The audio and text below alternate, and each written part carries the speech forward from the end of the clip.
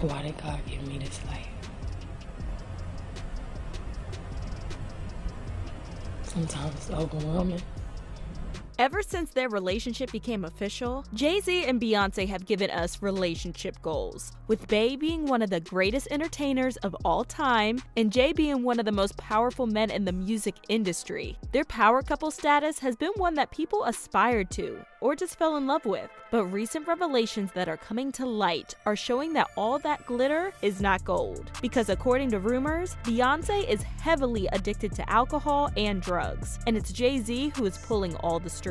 But Jay is finally setting the record straight, and you are not gonna believe what really is going on with the Carters. Okay, to give you some context, Bey and Jay first met in 2000 when Beyonce was still 18 years old, but they didn't start dating until a year later. Or that's what she told the press. Anyway, seven years later, they got married in a very private ceremony, and after some more years, Blue Ivy was born, and in due time, they welcomed the twins, Carter and Rumi. And for anybody looking at the Carters from the outside, their story seems like the perfect fairy tale. They are surrounded by the love of their family and their fans and all of that. But recent revelations and allegations leveled by Hollywood insiders show that all of this might be a sham. Now, rumors that Bey is usually doped up have been floating around since forever. And while I'll be the first to admit that part of these rumors might be fueled by the fact that Queen Bey seems superhuman, there have also been evidence to prove that these aren't mere theories. And if anything,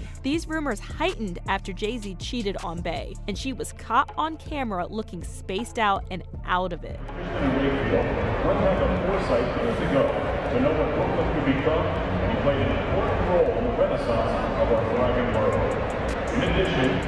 Now, no one could confirm exactly what was really going on or what made Queen Bey act this way, but a faction on the BeyHive suspected that it most certainly had to do with drugs. But then they didn't blame Beyonce for using, and instead turned their anger towards Jay, who they believed was trying to control her with drugs. And even before this, Beyonce once recorded a video where she was extremely emotional and vulnerable. And while this is very moving, she also looked like she was wasted. You know, living a dream.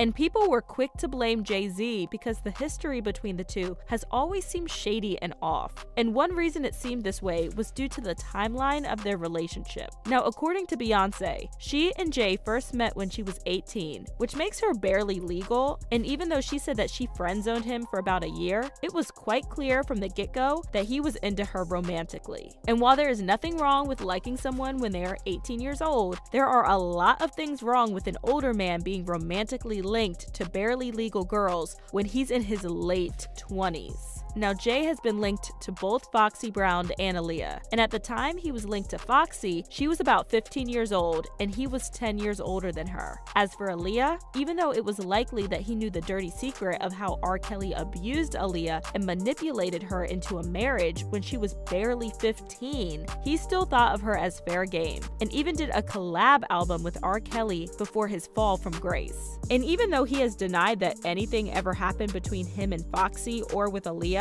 fans can't help but feel that the power dynamic between he and Bey isn't balanced and that he doesn't regard her as an equal. And this suspicion is supported by his verse in 444 when he asked Beyonce not to embarrass him when he first tried to ask her out.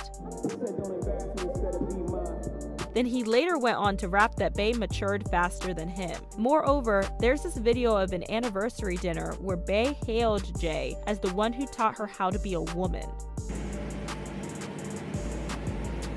This is, nothing compared to what you've done. And not only me, but everybody here. You taught me so many things. I was 20 years old when we first started dating. You taught me how to be a woman. So, not her mom, not her dad, or even some close relation to her family taught her how to be a woman, but her husband, who she met when she wasn't even old enough to be drinking and who had about 10 years on her, was the one who taught her how to be a woman. And I don't know about y'all, but that looks sus. And then some years after, Jay's cheating scandal hit the ceiling, and while Beyonce seemed very angry and disappointed, she didn't do what most of her fans expected her to, which was to seek a divorce. I mean, this situation was so bad that Solange was fighting Jay in an elevator.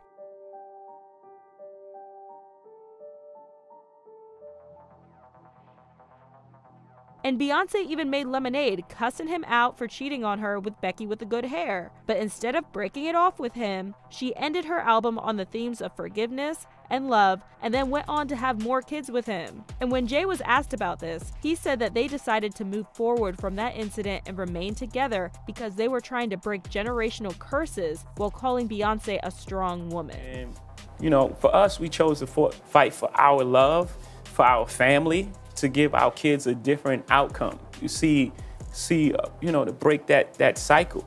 Um, for black men and women, you know, just to see a different outcome. Like you were saying, it's not this. And a lot of fans weren't buying his lines and calling it pure BS. An example is this user who said, You break that cycle of single parent households and broken homes by not cheating on your spouse in the first place which is so true. Now, Jay said that if Bey was the one who stepped out on him, that he was definitely going to forgive her, but most people felt like he was lying through his teeth. And I, for one, felt that it was the power dynamic in their relationship that must have made it difficult for Beyonce to leave. Plus, there is the fact that Bey might be afraid of Jay, and y'all know that Jay has always had a temper. We all know back in day Jay was a real gangster. One time, he was even sentenced a three-year probation for stabbing Lance Rivera, who allegedly leaked his about to be released album at the time, Volume 3 Life and Times of S. Carter. And while some may say that Lance had it coming, this wasn't the last time that Jay showed himself to be aggressive. Back when Diddy celebrated his 50th birthday in grand style, Bey and Jay were invited to the party, but then a video surfaced online where Jay snatched the phone of someone who was recording Beyonce. And although a lot of fans thought that this was super romantic and really cute as Jay Z was seemingly protecting Bey, others think that it just showed a very dark side to his personality, and that perhaps Bey wasn't safe with him. Also, back at the 2023 Grammy Awards show, when Trevor Noah was trying to give Bey her Grammy statue for Best R&B Song, Jay was also trying to pass her a drink, which she declined. Grammys, everybody. You know, when you equal a record, there's no way you don't get to hold your Grammy in your hand and celebrate that. Now, although their interaction looked cute, Jay's body language looked like he was embarrassed and didn't like feeling that way. Then there's also the fact that over the years, Bey's presence in the media, especially when it came to interviews, has reduced significantly. I mean, it has gotten so bad that some fans have to point out that she didn't even promote Renaissance at all. One fan said, I really wish Beyonce would promote Renaissance. I'm not upset with her, but I was too young to experience a traditional rollout from her. Now that I'm 22, I would love to see her do it just one last time. And while some people believe that Beyonce stopped doing interviews because she's trying to keep her life private and that she understands how every single aspect of her life can be misconstrued by the public, others think that this is a direct influence of Jay Z controlling her and how much she lets out to the public, even when it comes to her art. For example, Jaguar Wright has called out Jay Z for what she believes he is doing to Bey. Jaguar made it clear in an interview that she thought Jay kept Bey doped up so she can be dependent on him for her every move and need. He's a monster. And I've known he's a monster for years. Mm-hmm. I waited a long time to see if he would grow a conscience and the more drugs he pumps down his wife's throat to keep her in a character. I know, girl. Jaguar even compared Jay's hold on Beyonce to Britney Spears' father's hold on her and asked that the BeyHive should make hashtag free Beyonce trend. Then there's Uncle Ron, who claims to be Beyonce's former bodyguard, and there's been this to serve as evidence to this claim. Well, according to Uncle Ron, Queen Bey has a drug problem that Jay Z supports. Hardly nobody knows but I say it, man. Yeah, Beyonce's on drugs. She's been on them for a long time. And you keep her that way.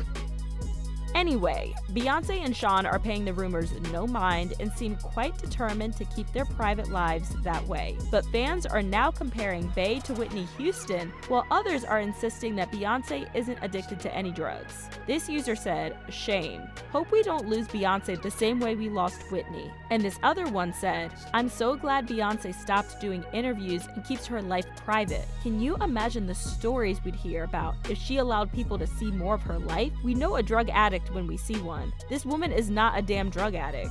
But tell me what y'all think. Do you believe Beyonce is hooked on drugs and Jay Z is keeping her that way for his benefit? Or do you believe that all the evidence is just mere coincidence? Leave your thoughts in the comments and check out my next video.